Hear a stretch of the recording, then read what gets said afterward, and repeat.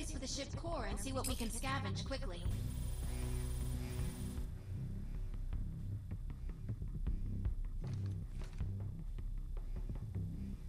Wow, Volge weaponry.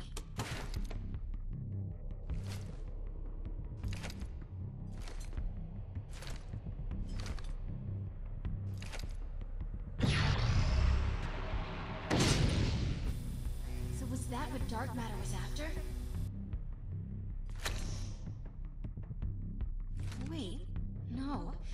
Looks like they were trying to download access codes for Ark nav systems? With the right hardware, these codes allow you to take limited control of the Ark still in orbit. We could probably scavenge the components we need locally. If we rig it all to a spike, we could use the codes to target an Ark already in a decaying orbit and redirect its entry. We can bring down Arkfalls! I'm downloading the access codes and deleting the ship's records, so they won't be here when dark matter reinforcements arrive. We don't need the competition coming after our Ark loot. Let's get out of here.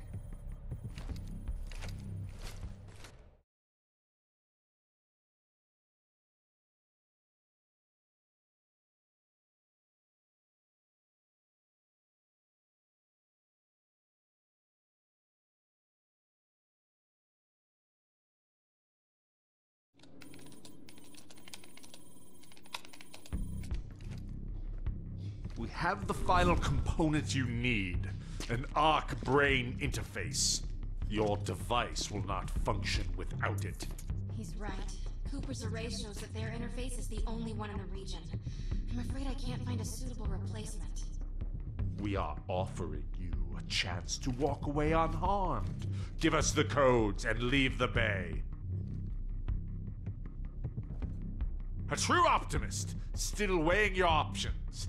Let me help by tipping the scales a little further. We've rigged Muir processing dam for demolition. If I don't return to my brothers with the codes within an hour, we blow the dam, wiping out every human in Muir Valley.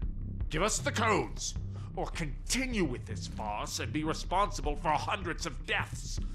I'm sure Ara and Cooper will understand when they hear you sacrificed innocent lives for Arkfall scraps.